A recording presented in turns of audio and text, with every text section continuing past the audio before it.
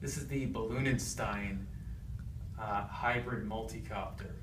Uses eight propellers and eight motors, as well as uh, batteries in various positions around the frame itself to balance it out. Uh, the balloon provides the majority of the lift, whereas the motors are merely stabilizers. So these motors are just going to be able to spin to stabilize the balloon. However, if the balloon ever pops in the event of a failure, these will go up to full throttle. Then the low battery failsafe will kick in, and the multicopter is able to actually land with no balloon at all for several uh, moments. So, if the uh, motors ever fail or you lose a prop, it'll stay in the air. Uh, if multiple motors fail or there's another problem with the flight controller, then the balloon will actually slow the entire aircraft down so it will not kill somebody when it lands on the ground or injure anyone. So the frame on this is made out of pine wood uh, for the first prototype. You can see the pine wood here if you come a little closer. The pine wood is very lightweight and the triangle, the triangular frame gives it a lot of support. Uh, this prototype is a little wobbly, but it's enough to fly.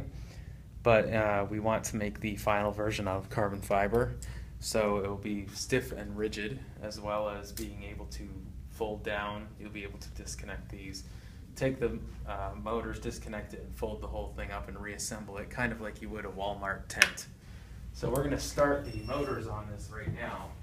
This balloon is just filled with oxygen right now since we're flying inside. We have no need for helium.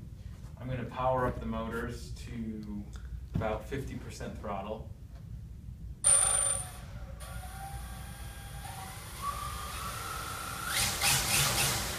And you can see all the motors running. Yep. There we go.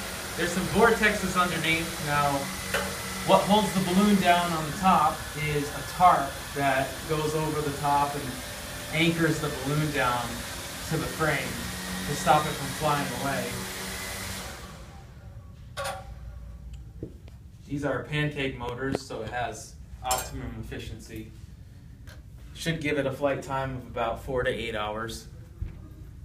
We haven't tested it completely in the air yet, but will soon.